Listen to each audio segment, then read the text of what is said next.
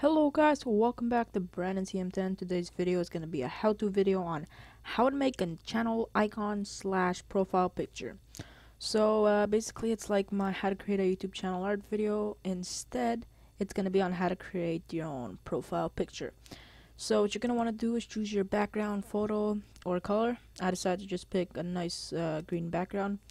For some reason my photo gets small, so don't worry if that happens to you. You could just drag it to your desktop or you could simply um, right click on it and you could save image as and to your desktop and you just save it.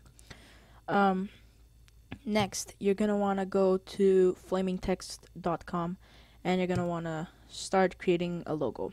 Now before I saw a nice one and it was in the category new and it was this one of April Fools so basically what you're going to want to do is just enter um, the name of your channel or just the initials. For me it's Brandon CM10 so I'm just going to put BCM10. Wait till that loads.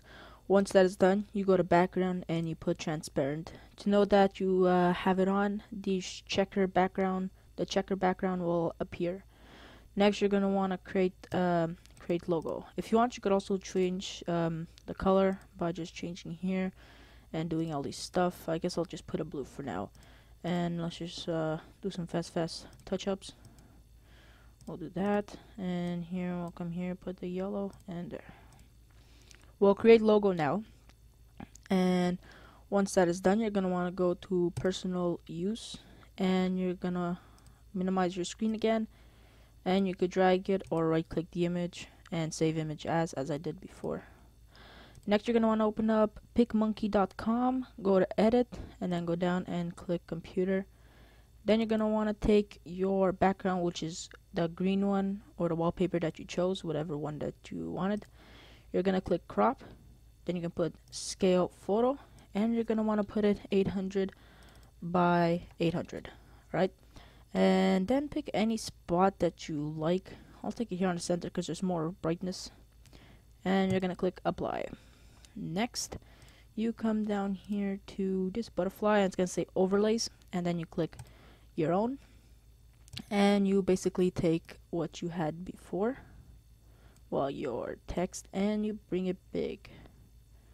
So mine will come up to about here and we'll just bring this a bit smaller. About right there I guess. We'll I guess like this right? So there you go. You have it. And then you're gonna want to click save. Save to my computer. Bring it to desktop and you go uh, my profile pick uh, save. Next. You go back to your YouTube channel and here on your profile picture there's going to be a pencil that's going to appear. You click on the pencil and since of the new update of Google Plus you click on add on Google Plus. And then you come here you just wait till it opens up. Now it's going to say drag photo here or select the photo. I'll just select the photo. And you look for this one whatever one that you named there. I named it my profile pic. You click it. And which you just wait and you just load. Just let it load. And then you make it uh, as big as you want it. I'm just gonna shrink it a little bit because my text is a little small. Alright, and then you're gonna set as profile, and now you're gonna wait for it to load. And if you want, you could share it, and you just say, uh, my new profile pic, right? And you're gonna put it that, and then you're gonna click share and there you have it. There's going to be your new profile pic. You're going to want to refresh your page on your YouTube channel. And there you go. There you have it. You're going to have your new profile picture. Then you could add a whole bunch of other stuff around it so that uh, make it look nicer. And that is all guys. Hope that you liked the video. Please give it a thumbs up. Let's just hope that this video will get as many views as my how to create a YouTube channel art video. And as once I said like comment and subscribe. And bye guys